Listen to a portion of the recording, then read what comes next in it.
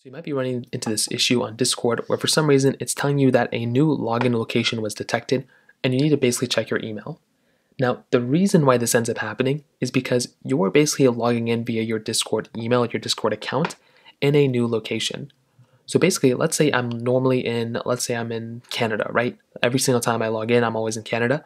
But then I travel to Europe for a trip and I log into Discord there.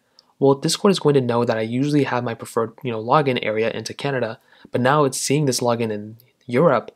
So what they're going to do is they're going to just double check and just make sure that you're, you know, you and nobody's trying to hack into your account. So the reason why this happens is just a security measure.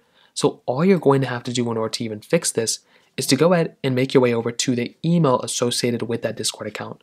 So go and make your way over to your email application, wherever that you know email account is. If it's a Gmail account, go into Gmail, whatever you know you've checked your email before.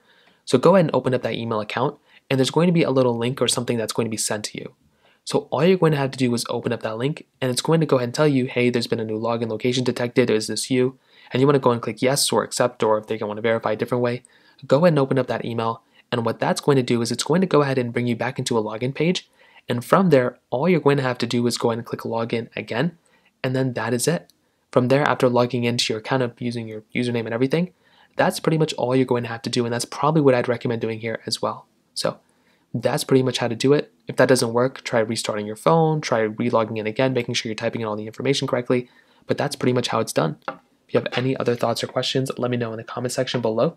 Hit the like button, that would mean so much, but definitely hit that subscribe button. More importantly than everything else, I love every single one of you guys. Hopefully I'll catch you guys in the next video. Peace out, then.